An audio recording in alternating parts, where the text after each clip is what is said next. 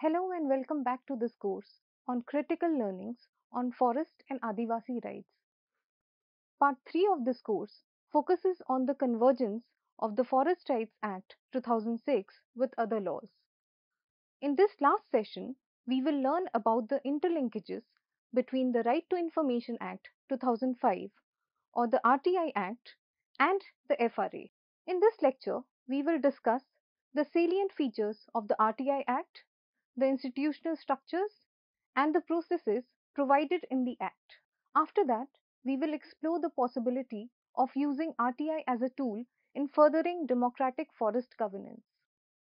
Judicial precedents have recognized the right to information as a fundamental right.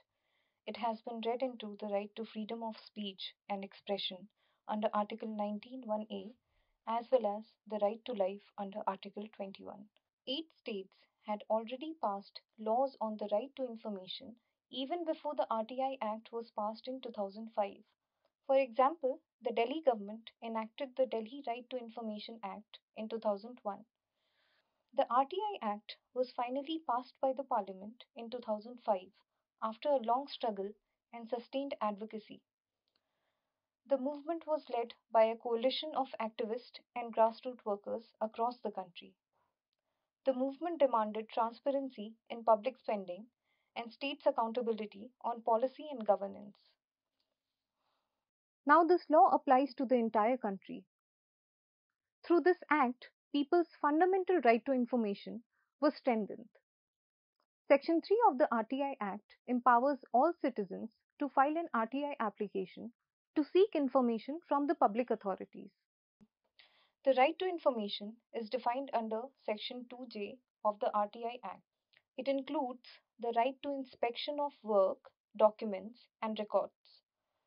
It also includes taking notes, extracts, or certified copies of documents, taking certified samples of materials, and accessing information in electronic form or through printouts. Information is defined under Section 2F of the RTI Act. Information is understood as any material in print as well as in electronic form. The RTI Act is only applicable to a public authority as defined under Section 2H of the Act. The term public authority means an authority or body or institution of self government established under the Constitution or a central or state law.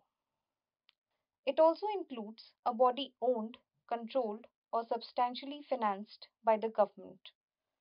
An NGO which is directly or indirectly substantially financed by the government is also a public authority. Under Section 4 of the RTI Act, all public authorities are required to proactively place information in the public domain. So, a public authority is required to maintain all its records, publish information about its institutional structure, its functioning and powers, the details of programs and schemes run by it, and the information related to policy decisions which affect the public. It is obliged to provide reasons for its administrative and quasi judicial decisions to affected persons. The law requires suo motu disclosure of such information at regular intervals from a public authority. These provisions are designed to promote an environment of transparency. Any information about an arbitrary decision by any public authority can be accessed by common people and be challenged in the courts. We will now learn about the institutional structures and processes under the RTI Act for making an RTI application and for seeking information. The Act envisages a three tier structure of authorities for its enforcement at the level of the central and the state governments. At the first tier, every public authority is required to designate a Public Information Officer or a PIO to receive and respond to RTI queries. At the second tier, every public authority has to designate an officer who is senior in rank to the PIO as the first appellate authority. At the third tier, the Central or State Information Commission is constituted by the respective governments. The RTI application to the PIO can be submitted in writing either physically or through electronic means. It can be written in English or Hindi or in the official language of the area concerned.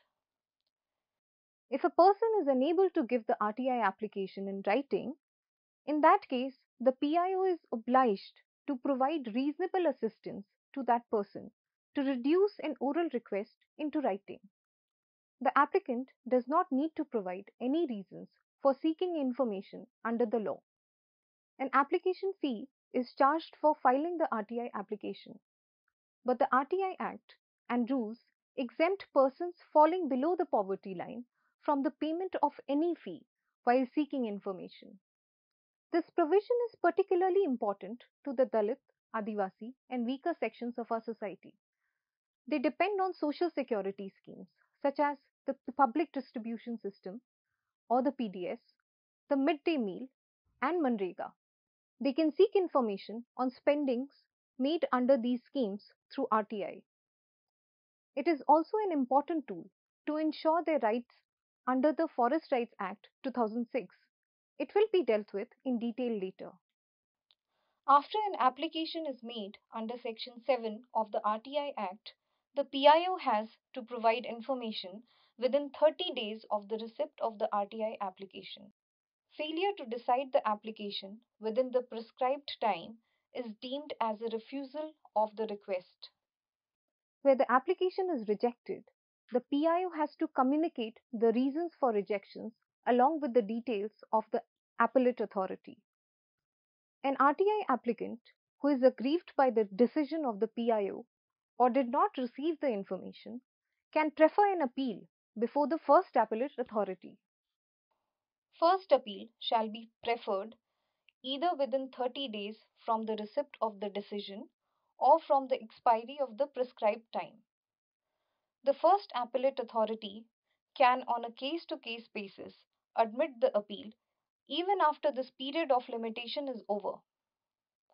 If it is satisfied that the appellant was prevented by sufficient cause from filing the appeal in time.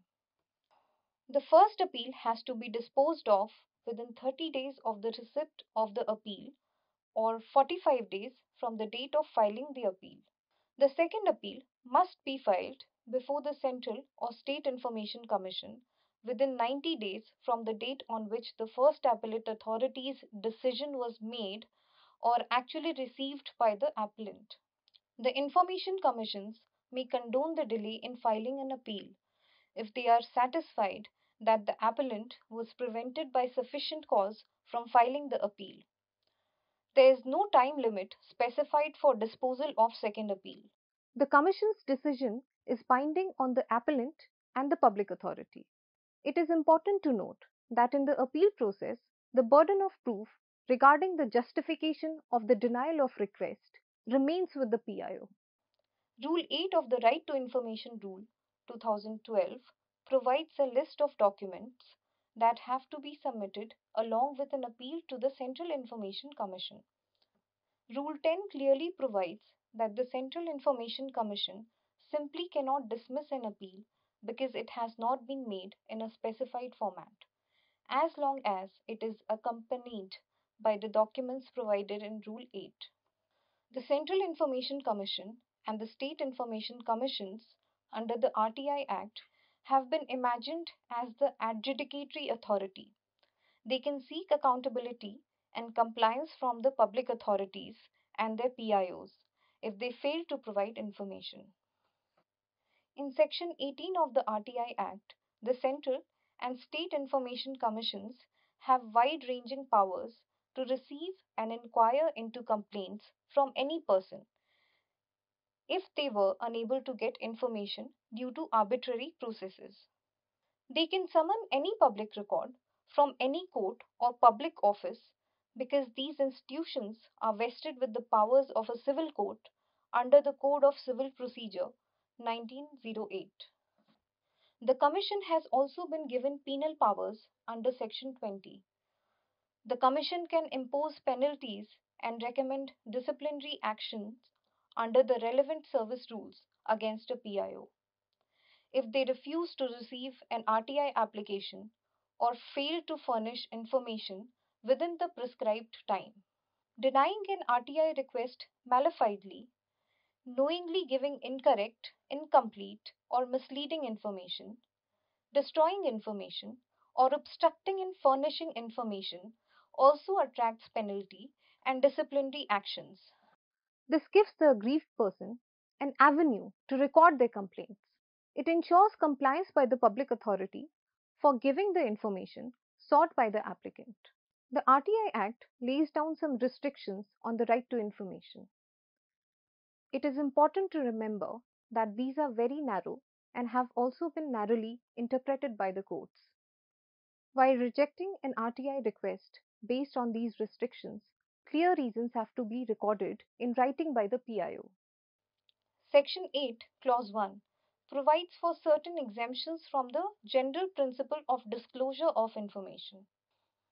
However, Section 8, Clause 2 specifically provides that a public authority may allow access to information. It is regardless of the exemptions under Section 8, Clause 1 or anything contained in the Official Secrets Act 1923 in larger public interest. It is important to note here that the RTI Act overrides the Official Secrets Act or any other law that is inconsistent with it. Apart from that, information involving a third party is also exempt, but the exemption is not absolute. A third party can make a submission to the PIO about whether the information can be disclosed or not. The PIO can make a decision to disclose the information if the public interest outweighs any harm posed to the third party. Some central and state level security and intelligence organizations specified in the second schedule of the RTI Act are excluded from its purview. Such exclusion is, however, not absolute. Information pertaining to human rights violations or allegations of corruption can be sought, but such information can only be provided after the approval of the respective information commissions. The grounds for the rejection of an RTI request are often misused to deny access to information. It can be gauged from the 2019 2020 annual report of the Central Information Commission. We must remember that these grounds have to be clearly specified through a reasoned order. An RTI request cannot be turned down merely because part of the information is exempted from disclosure. These exemptions are exceptions, not the rule. We have now established that RTI is a crucial instrument for seeking accountability from the government. Now, we will explore the links between the RTI and the FRA. The RTI is an important instrument for bringing about greater transparency in the decisions of bodies constituted for the recognition of rights under FRA, such as the Subdivisional Level Committee or the SDLC, the District Level Committee or the DLC, and the State Level Monitoring Committee or the SLMC. If the SDLC makes any recommendation and the DLC takes a decision for the rejection of claims, then they have to provide reasons for rejection. The principles of natural justice also require the recording of reasons. However, these conditions are hardly met under the FRA. This is where the RTI comes to the rescue. The Sangathans engaged with the forest rights movement have used the RTI to challenge the arbitrary rejection of claims. They have taken the state and central government to court in several writ petitions in various constitutional courts. We can learn from the case of Janmukti Sangharsh Vahini versus State of Bihar and others about using the RTI strategically. Hundreds of FRA claims from different districts of Bihar were arbitrarily and illegally rejected the SDLCs did not provide any reasonable opportunity of hearing to the claimants. Even the rejection order was not sent and communicated to them. Therefore, the claimants were also deprived from filing an appeal before the DLC. Janmukti Sangharsh Vahini, a local Sangathan, filed RTI application seeking answer for the reasons of rejection of claims. The administration cited a list of reasons for the rejection, none of which were as per law. This led the petitioners to file a writ of mandamus at the Patna High Court seeking directions from the court for implementation of the FRA and a review of the rejected claims.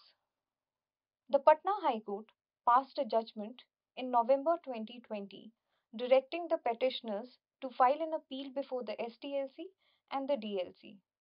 The court directed the SDLC and the DLC to hear the appeal within a given time frame. Therefore, the Right to Information Act is immensely relevant. It can become instrumental for guaranteeing rights through interventions in courts. The power of the Gram Sabha for giving free, prior, and informed consent in cases of forest land diversion can also be strengthened through the RTI. When a land has to be acquired from a forest dwelling community for industrial, mining, or developmental purposes, Gram Sabha's consent is required as provided in the famous Niyamgiri judgment. Section 4, Clause 5 of the FRA also clearly states that the forest dwellers shall not be evicted or removed from forest land under their occupation till the recognition and verification procedure is complete. In the absence of reliable information, it is difficult for the Gram Sabha to understand the terms of an acquisition. It cannot make any informed choice without reliable information. It cannot ascertain whether regulatory processes such as the assessment of damage to the ecology, wildlife, and individuals facing displacement have been carried out as per law. Moreover, before any mining activity commences, a project proponent is required to place information regarding the project in the public domain.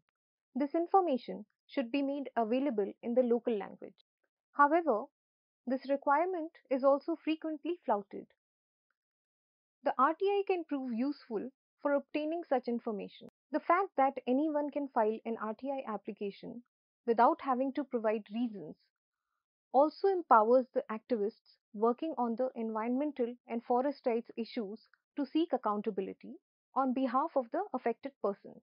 Both laws try to displace power and its function in a young democracy like India by entrusting it with the people.